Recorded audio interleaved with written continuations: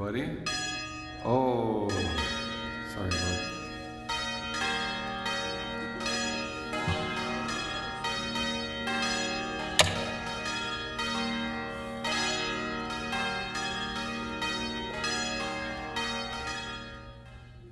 I did that on purpose, I promise. I'm going to invite you guys to stand. I'm going to pray for us. Jesus, we thank you. We thank you for your love. We thank you that you're with us. Lord, we thank you for laughter and friendship and just the everyday um, gifts you've given us in our lives. Father, I ask that you bless our time together. Holy Spirit, would you come upon the preaching of the word? Lord, would you mark our hearts this morning? In Jesus' name, amen.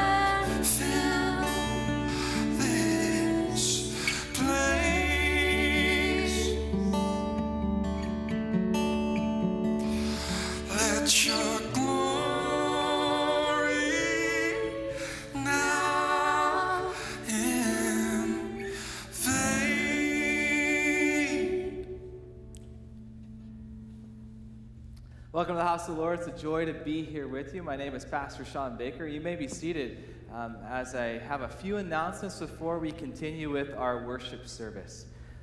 Um, one, uh, we have a bunch of different things uh, coming up on the next few weeks here as we're launching different ministries here at Bethany Lutheran Church.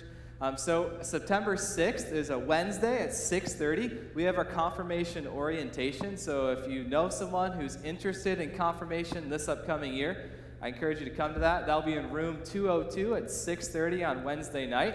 And next Sunday, September 10th, uh, which is our do not forget to sign up for Sunday school. So we are going to sign up for Sunday school there, but the theme of it is do not forget. So there will be donuts. So come get donuts and come sign up for Sunday school as well. We look forward to kicking that off um, this year.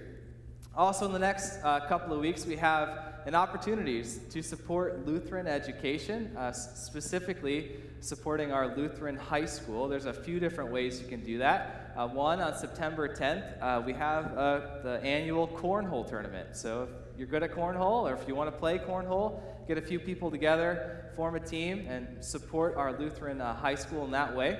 And also, uh, September 18th is the annual Lutheran High Golf Tournament. So if you like to play golf, if you want to support Lutheran education, get a team together, sign up, and try to get the trophy. Um, and last but not least, uh, as you walked up these uh, sanctuary stairs to get to this place, uh, you may have noticed a bin um, up there on that island, kind of on the, the platform there. And uh, we're already collecting candy uh, for trunk or treat. Um, this upcoming October. Um, as many of you maybe know, if you participated in Trunk or Treat last year, we ran out of candy so quickly. So we're going to start collecting it um, now. So uh, in that bin up there, if you want to bring in candy to donate uh, for the Trunk or Treat, which will be October 29th, um, I encourage you to do so. And you can drop it in that bin. And last but not least, uh, welcome to anyone um, who's here visiting with us. And I encourage you to um, fill out that welcome card that you should have received on your way in. Um, let us know how we can help you connect to this place, but also how we can pray for you and uplift you in your walk with the Lord. Uh, those are all the announcements I have for you this morning. I invite you to rise as we continue our worship service. We begin our service this morning in the name of the Father, and of the Son, and of the Holy Spirit. Amen. We confess our sins together. Merciful God, we, poor, miserable sinners, confess that we have failed to love others like you have loved us. Too often we put our needs above others. Too often we respond in anger and hate rather than love. Too often we have thoughts of vengeance rather than forgiveness. Father, forgive us. We pray through your boundless mercy and for the sake of your Son, Jesus Christ, to be gracious and merciful to us, poor, sinful people. The good news Jesus Christ has came to this world for you. And he took on your sins, your mistakes, your imperfections. He took them upon himself. He went to the cross. But three days later, he rose from the grave, setting you free, giving you life, forgiving you. And because of the work of Christ, you now have been given eternal life. All who call on the name of Jesus will be saved. And as an ordained pastor, as a servant of Jesus, it's my privilege this morning to announce the forgiveness unto you all. I now forgive you all your sins. In the name of the Father, and of the Son, and of the Holy Spirit. Amen. The peace of the Lord be with you. Thank you. I invite you now to go share that peace with the people sitting next to you. Welcome them into the house of the Lord.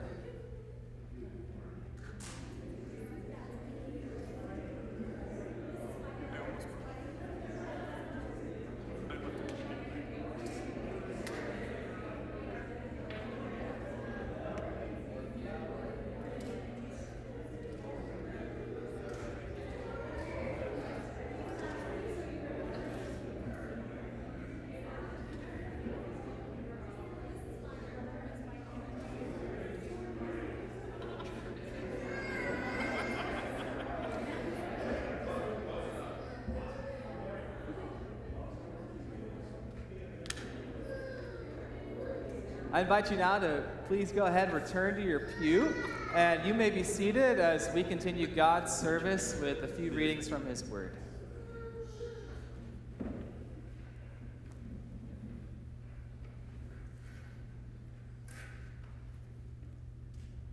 The epistle reading for this Sunday is from Romans, the 12th chapter, beginning at the ninth verse.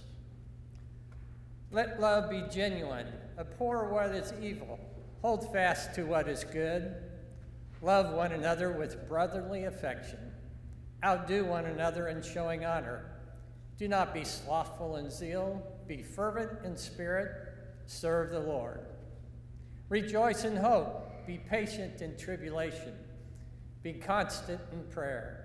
Contribute to the needs of the saints and seek to show hospitality. Bless those who persecute you. Bless and do not curse them. Rejoice with those who rejoice. Weep with those who weep. Live in harmony with one another. Do not be haughty, but associate with the lowly. Never be wise in your own sight. Repay no one evil for evil but give thought to what is honorable in the sight of all. If possible, so far as it depends on you, live peaceably with all. Beloved, never avenge yourselves, but leave it to the wrath of God, for it is written, Vengeance is mine, I will repay, says the Lord. To the contrary, if your enemy is hungry, feed him. If he is thirsty, give him something to drink. For both so doing, you will heap burning coals on his head. Do not be overcome by evil, but overcome evil with good. The gospel reading, if you'd rise for the gospel, please, is in Matthew, the 16th chapter, beginning with the 21st verse. From that time on, Jesus began to explain to his disciples that he must go to Jerusalem and suffer many things at the hands of the elders, chief priests, and teachers of the law, and that he must be killed and on the third day be raised to life. Peter took him aside and began to rebuke him. Never, Lord, he said, this shall never happen to you. Jesus turned and said to Peter, Get behind me, Satan. You are a stumbling block to me. You do not have in the mind the things of God, but the things of men. Then Jesus said to his disciples, If anyone would come after me, he must deny himself and take up his cross and follow me. For whoever wants to save his life will lose it, but whoever loses his life for me will find it. What good will it be for a man if he gains the whole world, yet forfeits his own soul? Or what can a man give in exchange for his soul? For the Son of Man is going to come in his Father's glory with his angels, and he will reward each person according to what he has done. I tell you the truth some who are standing here will not taste death before they see the Son of Man coming in his kingdom. This is the word of the Lord. Thanks be to God.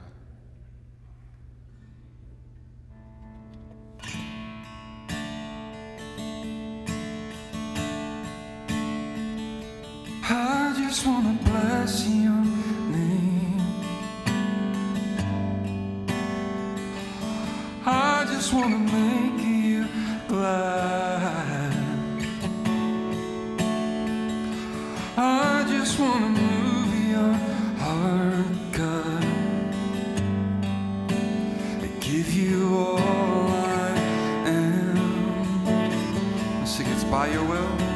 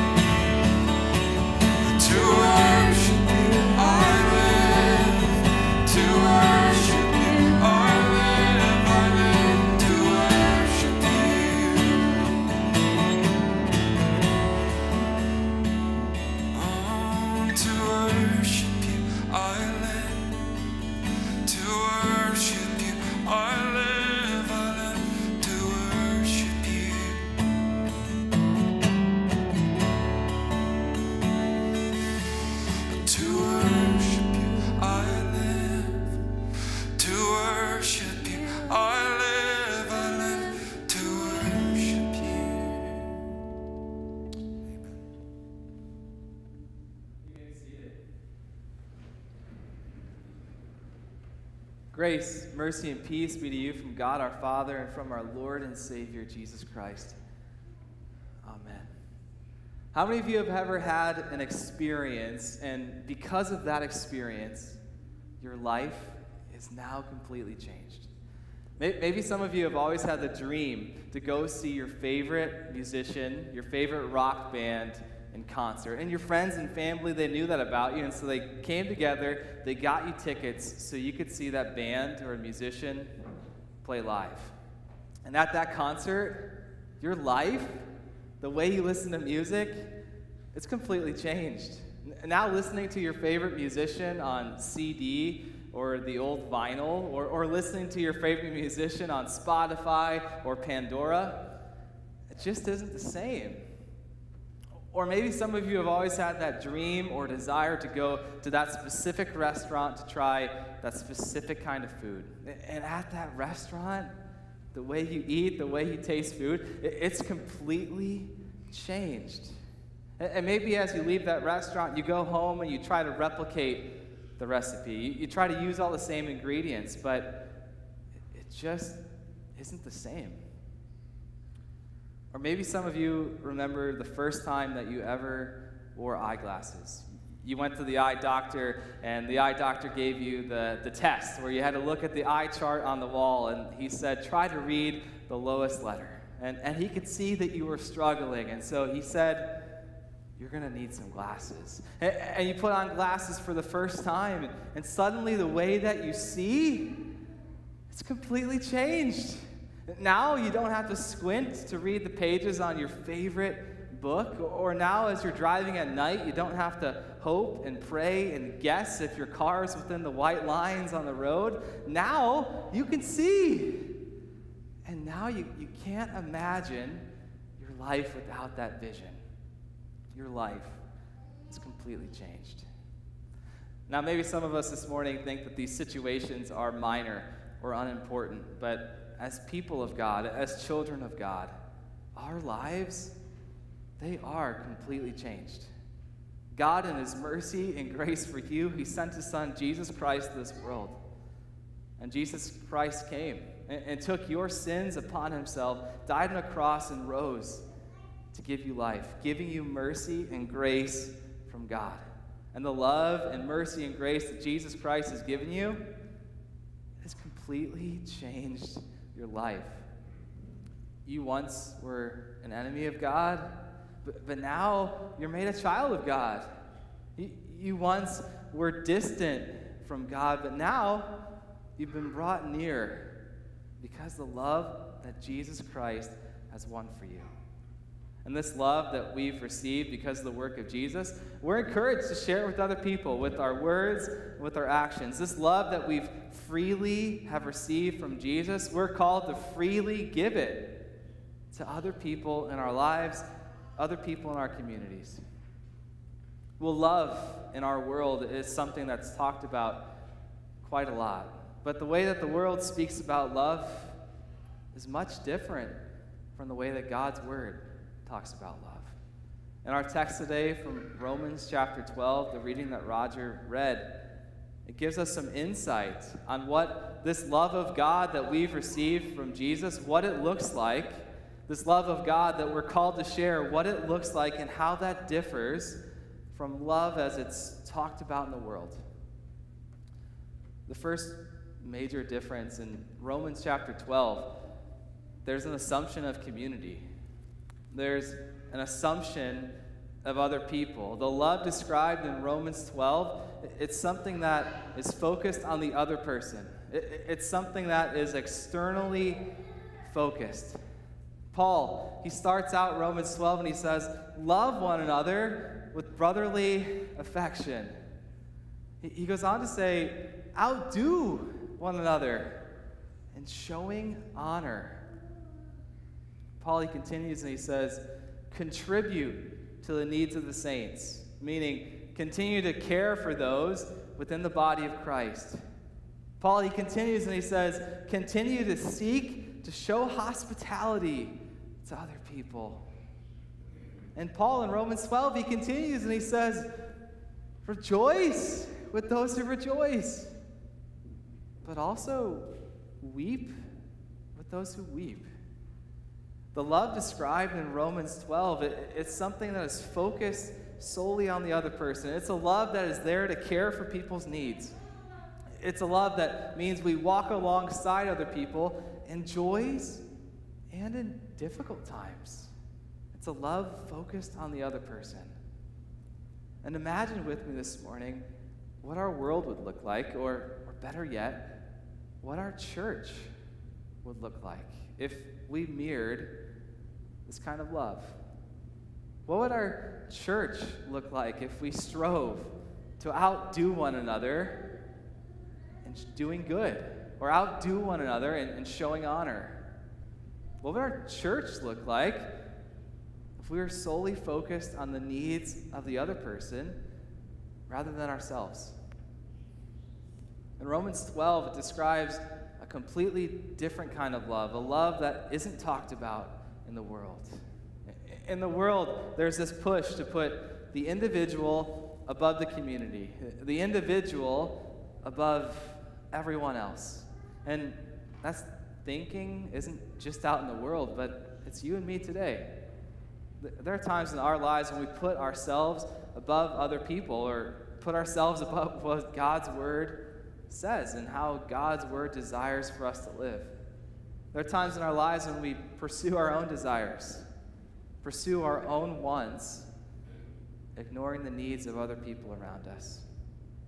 There are times when we talk about love, when we think about love, we focus on loving ourselves rather than loving other people that God has placed in our lives.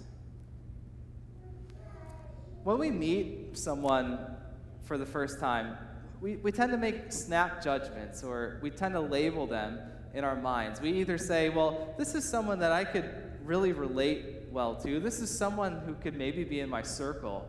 Or, or we maybe say, well, this is someone who, who I don't see myself getting along with. This is someone who I don't relate well to. And, and we make snap judgments or we label people in our minds based on a whole host of different things. Maybe it's the way that they dress, or maybe it's the vocabulary that they use as they're speaking to us.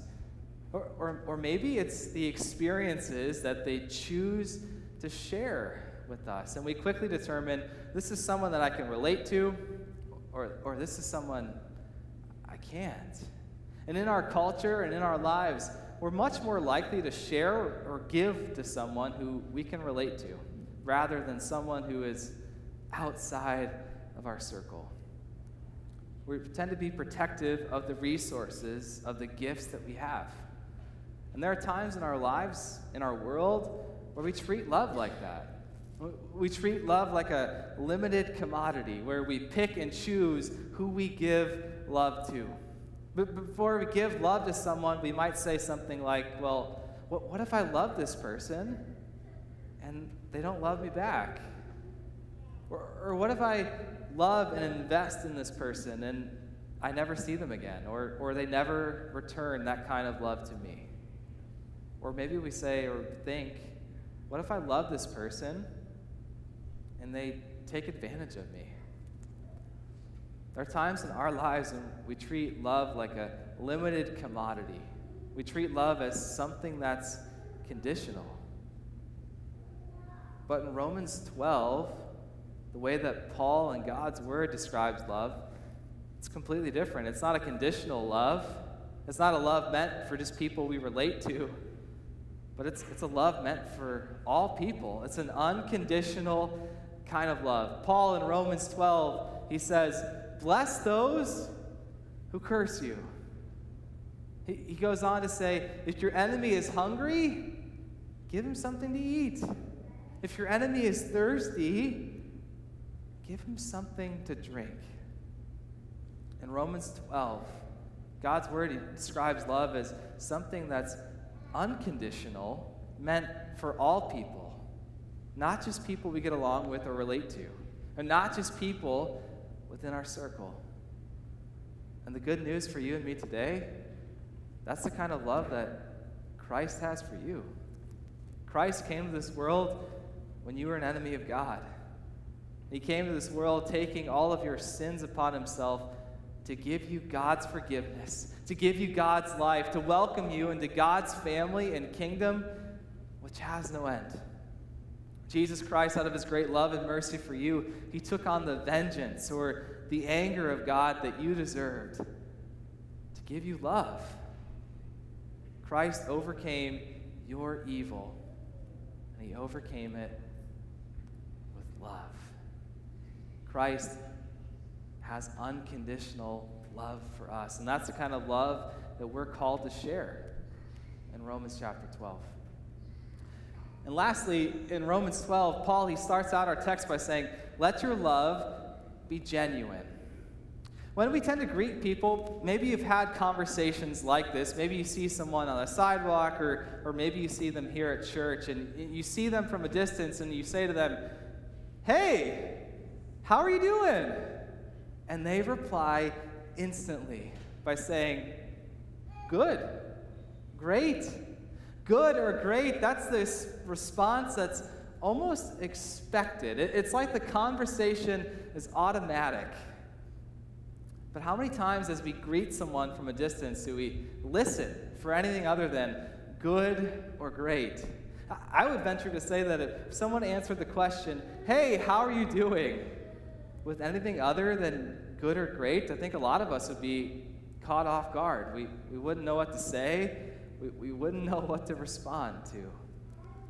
Paul in our text, he says, Let your love be genuine. I think there are a lot of times in our lives when we're polite to other people, we ask, Hey, how are you doing? But we don't listen with actual concern. We, we tend to love people from a distance. Or, or, or maybe there are people within our lives, in our communities, that they speak against God's word or they say something that God's word doesn't agree with. And instead of speaking up and correcting them in kindness and gentleness, we choose not to say anything. We tend to love other people from a distance. Or, or maybe there's that person in your life, they're really struggling, they're going through something difficult. And in their difficulty, a lot of times we might say something like, Well, I'm praying for you. And instead of pulling them to the side and saying, Can I pray with you right now? We tend to love people from a distance. But in Romans chapter 12, Paul, he doesn't say, Let your love be distant. He says, Let your love be genuine. A genuine kind of love is the kind of love that's ready, willing, and able to care for those or help people in difficult times and in joyful times. A, a genuine love is there, ready to con- correct with gentleness and kindness when someone doesn't know what God's word says. A, a genuine kind of love is ready to walk alongside other people in times of joy and in times of difficulty. The love that Jesus Christ has given you is something that's truly life changing. It's a love based in his mercy and grace for you. And in Romans chapter 12, it describes a genuine, a, a love focused on other people, a love that's unconditional and for all people. And that's the kind of love that Christ has for you. In Romans chapter 12, it highlights and gives us insight of what love looks like the love that we're called to share. And this love that we're called to share is the kind of love that Christ has for you. Now may the grace of God, the peace of God, which surpasses all understanding, may guard your hearts and your minds in Christ Jesus, our Lord. Amen.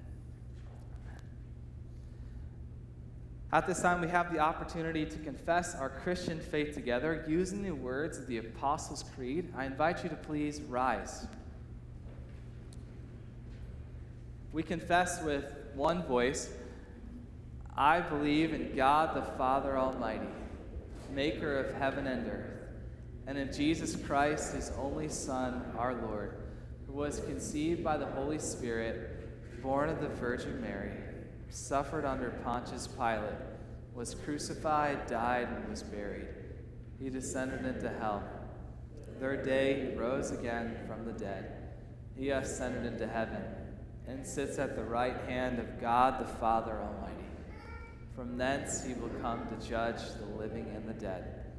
I believe in the Holy Spirit, the holy Christian church, the communion of saints, the forgiveness of sins, the resurrection of the body, and the life everlasting.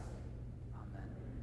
We now continue our service by having the opportunity to give our burdens, our worries, our concerns, going to our Heavenly Father prayer. Please pray with me. Gracious Lord, we're thankful for an opportunity to come into your house and worship you. Lord, we thank you for the great love that you've given us through your Son Jesus, through his work on the cross. And Father, one of the ways that you've given us your love and life in this world is through the gift of baptism. And today, we rejoice and celebrate with those who are remembering the day when you claim them as your own at the font.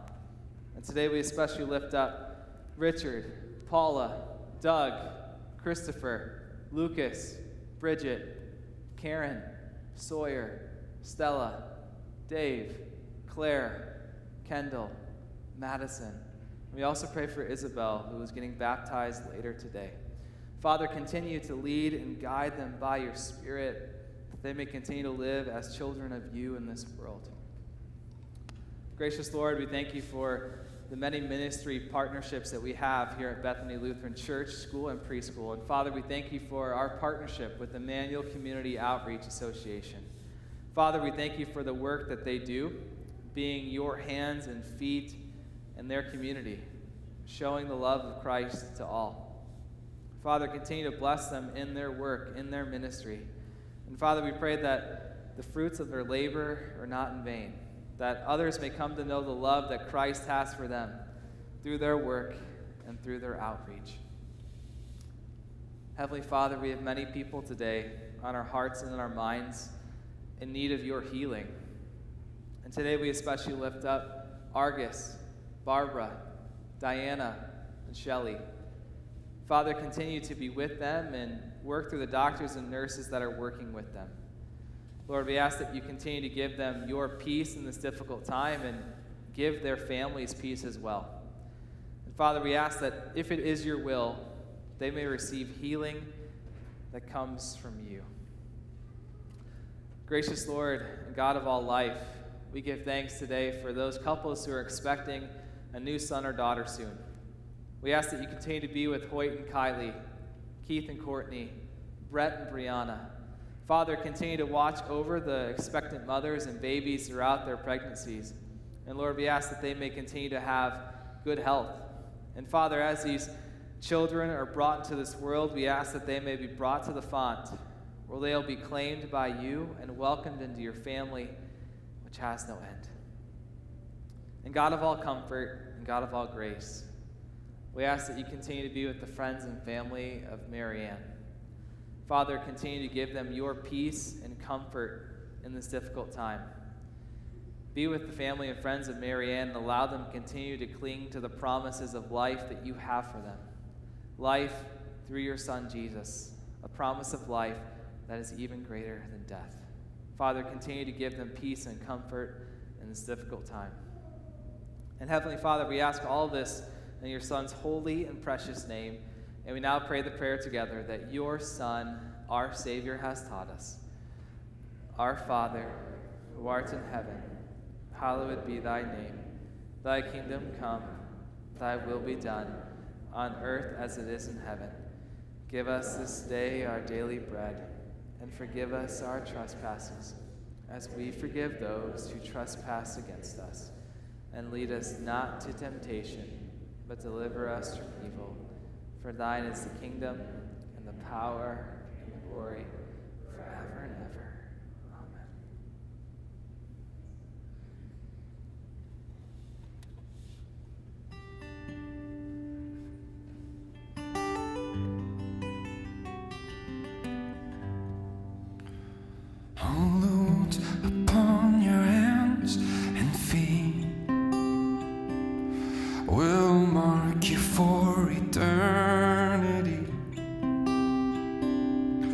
A fountain's opened up where blood and water flow. I run to find my cleansing. I run to be made whole. Oh, I trace the scars of your love for me. A constant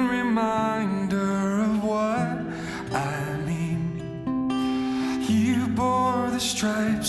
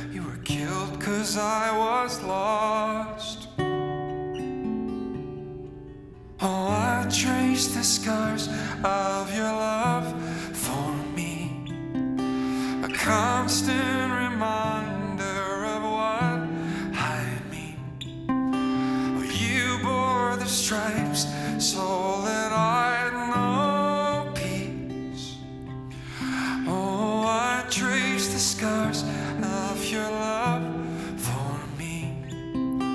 Constant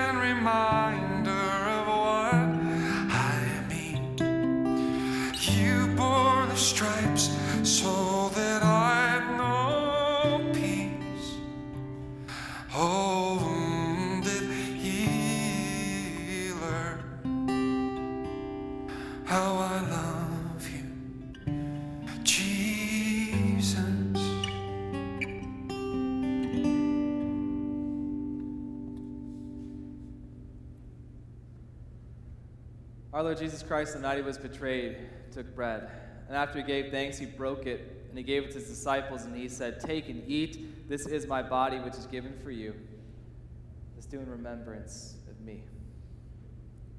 In the same way, also, he took the cup after supper, and after he gave thanks, he gave it to them, saying, Drink of it, all of you.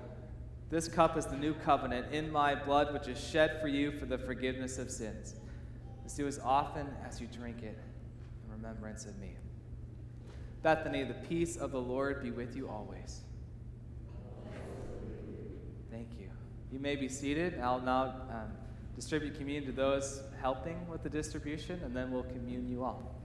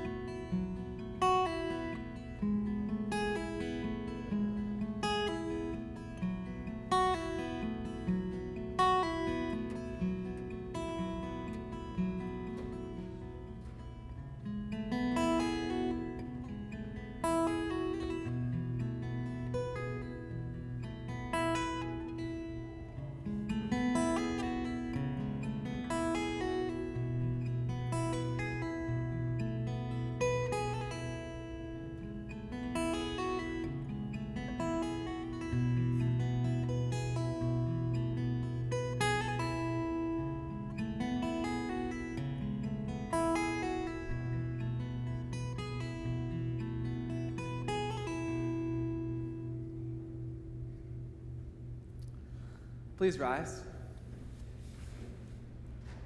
And now that you've received the body and blood of our Lord and Savior Jesus Christ, the forgiveness of all your sins, may it strengthen and preserve you both in body and soul until life everlasting.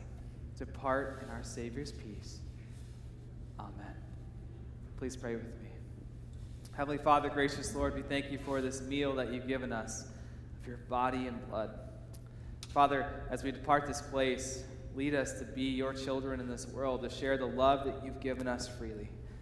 Father, let us leave this place as fed and nourished children of you, that we may open our mouths and share your love freely, that all people may come to know the saving knowledge of you and Jesus Christ for them.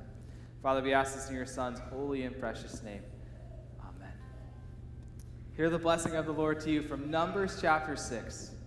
The Lord bless you and keep you. The Lord make his face shine upon you and be gracious unto all of you. The Lord look upon you with his favor and give you his peace. Amen.